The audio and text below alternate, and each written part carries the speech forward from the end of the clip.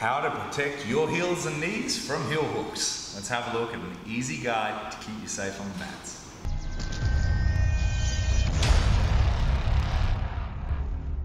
Hey guys, Coach Tom. I'm here with Guy. We are going to have some fun today looking at how to keep people from tapping us out with heel hooks. Of course, this also can help protect us to keep us safe. Let's just have a look at what we're talking about here. Uh, guy's to heel hook me any side he likes, any position he likes. He's going to go this leg. He's going to go from a basic straight ashi He's going to outside heel hook here. Okay, good. So let's just have a look now at the fundamental causes of why this would fail. Okay. First one is the fact that if he doesn't have my knee. Like when he's trying to armbar me, if I rip my elbow out past his groin, there ain't no more armbar. Just this guy's got a sore groin. So the same principle happens with my knee in the groin. Okay? So a lot of the time, if he's got my heel here, if he's already got it Notice I said already got my heel. If he's already got my heel, the number one thing I need to try to do is go with it and push my knee through. So if I'm rolling with it and I can get my knee past his femur line here, then this will not break. Okay, hopefully. Fingers crossed. but if he keeps my knee line in, so see how his, if we draw a line here, between, say, his femurs or his kneecaps, whichever works for you. My knee is in, which means he can rip that thing apart, okay? But most people, especially when they're digging for heels, will let you get your knee out. And now, if his, my knee is out, there is no heel hook left, okay? And I can spin out and try to get on top of the gut. So, understanding that we can always clear our knee. What is a great way to do that? Well, one of the basic ways that people use is they'll grab a foot like this and bend it and now trying to just get their knee out. But understand that it's much more powerful to hold and try to press with the other leg to get your knee out. But guys, realize you're playing with fire.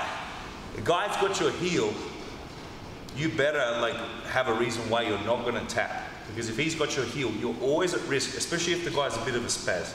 So when someone has your heel, we know we can only do one thing. Try to see our own knee. If we can see our own knee, if he starts to apply that heel hook, see how my knee's got give, right? So look how much he applied that heel hook. Now if he clamps down tight, uh, it's gonna get tight quick. There's no shock absorber in effect. So now let's have a look at prevention, because we all know the old saying, an ounce of prevention is worth a pound of cure. So in a perfect world, well, I'd be mounted on him, right? but presuming he already has got in a leg lock position. So we could go further with our prevention in this because he's already in this Ashigarami position. It's all about hiding the heel. So what would Guy want from here? He would want to turn my knee this way so that he could expose a heel. You'll notice my thumb and elbow always oppose each other. Same thing with my knee and my heel. They always point different directions. So he would want my knee facing this way so he can expose my heel. What would I want? Well, I would want to stay on this side so I can straighten my leg and see how I'm hiding my heel from him. If you look, he can't go around and get my heel. It's really difficult. If I turn it this way, he can. Okay, so I keep my knee pointed left, which points my heel in.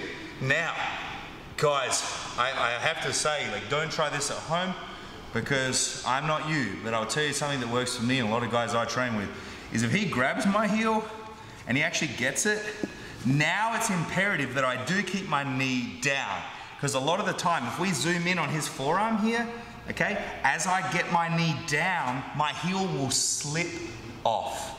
Unless you've actually had to break people in heel hooks before, very often you're not actually familiar with how taut you need to keep your uh, radius and ulnar bone underneath their heel, and it will just slide off. Again, if he has got me, uh-uh, I'm going to try to point my knee out, which will slip my heel over. Understand that in that process, if my heel didn't slip and I used too much force, I would blow my own knee out. So when I say don't try this at home, it's better than getting your leg broken, but understand that an ounce of prevention is better. So if I just hide my knee out now and hide my heel, well then he can't even get that heel hook in the first place. Meanwhile, I can now re-pummel and I can attack my own heel hook here, okay? So if my knees are all pointing to this way, he can't hide that heel, hide that heel. He can't. The only way he could do that was if he pointed all of our knees over there.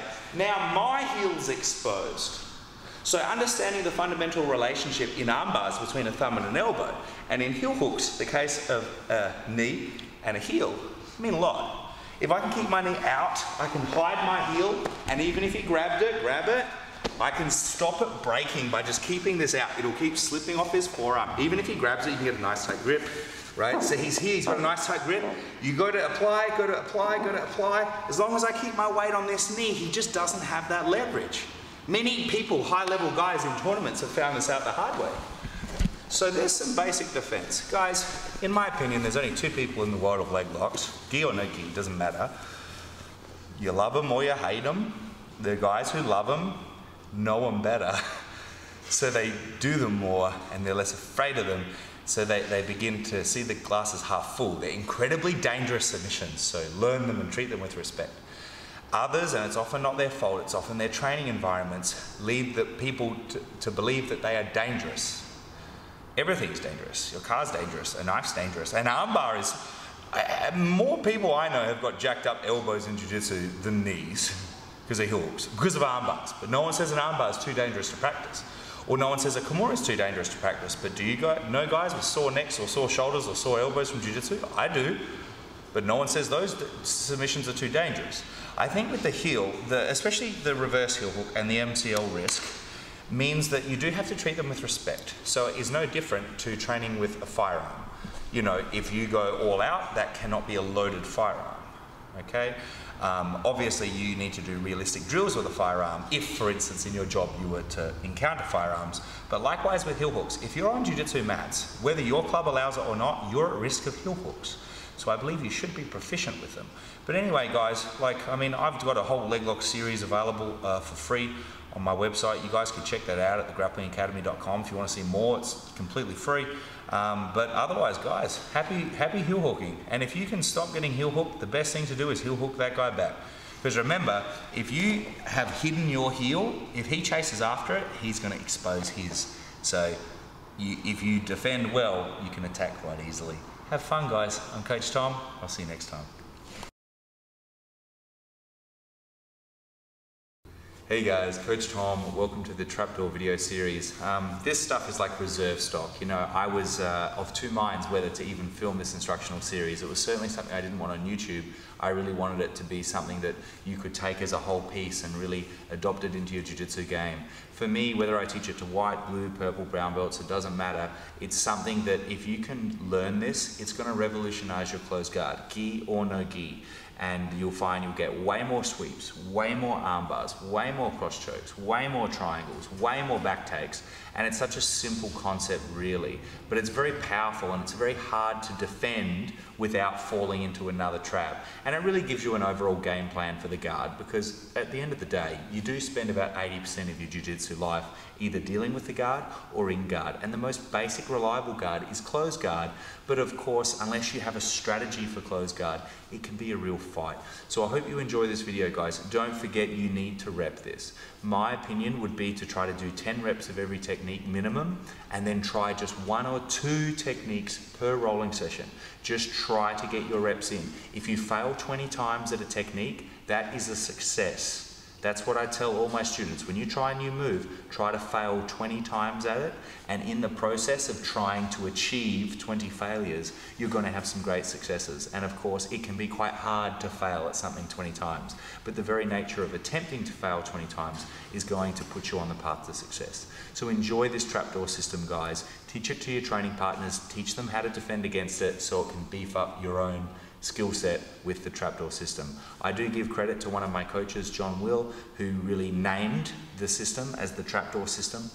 It's quite a simple concept, but it was something that he really got my mind running on this. So I really give him a lot of credit for this, and I hope you guys enjoy it. It works for me, it works for my students, it works on the mat, it works with MMA, it works on the streets, it works in all arenas, and I really hope you enjoy it. Thanks for watching, guys. Enjoy the series.